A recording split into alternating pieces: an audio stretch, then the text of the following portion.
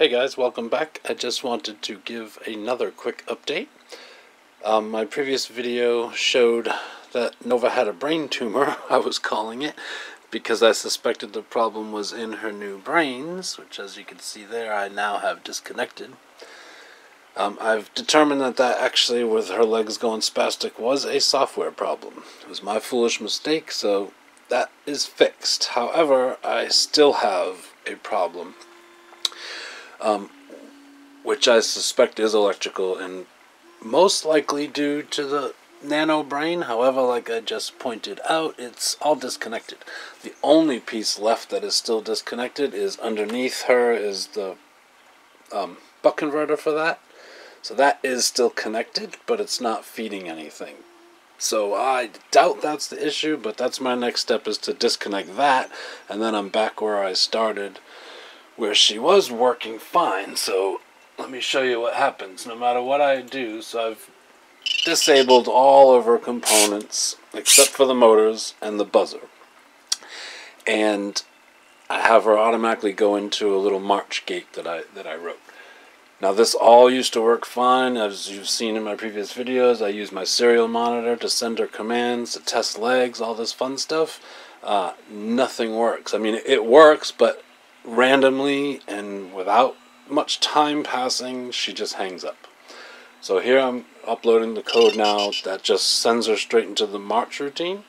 And you'll see after anywhere from 2 to 15, 20 seconds, she'll just stop.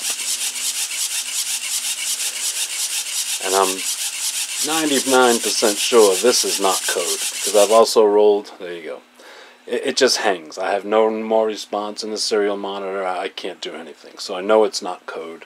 Also because I've rolled back to version 3.2, which was, I had no problems with her at that point. I had her on the ground for, you know, an hour or more without any problems.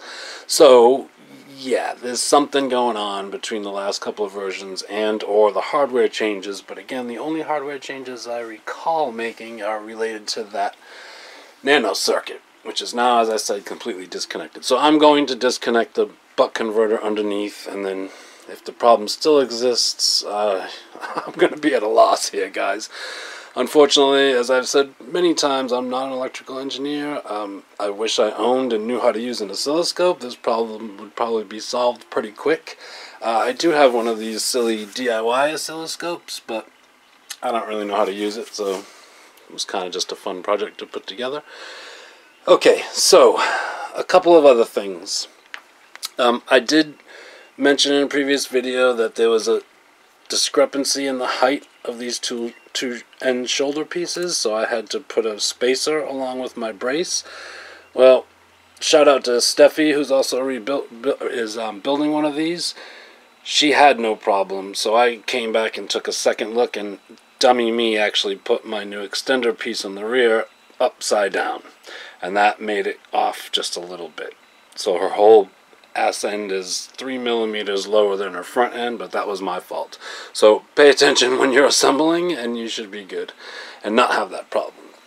Another issue, which hopefully none of you will run into, but shout out to Steffi again. She had the same problem, so I figured I would mention it to you all. Um, when we were having that issue with the legs going haywire, unfortunately, this happened to me and Steffi. Um, with the USB connected and the legs go haywire, they can often hit that wire and pull on the USB port, and in my case, it actually broke it right off of the Mega. So I had to unwire everything and replace my Mega. Thankfully, I have a surplus supply of them because I love that board, so I was able to you know, be back up and running in no time. However, just be aware of that. So now what I'm doing is I have this right angle USB cable that I've that I'm using, and I tape it to her body right here, so the wire is out of the way. Um, even in testing, the legs very unlikely they're going to hit that now and damage it. So be be careful of that while you're developing and moving her legs around. You could very well break your mega board, and that's a bad thing. Alright, so yeah, that's where I'm at, guys. Hopefully, if I can figure out this electrical issue, then I will be 100% right back where I was in a good place to put all my time into software and get her running around the living room. okay, everyone, have a great day. Thanks.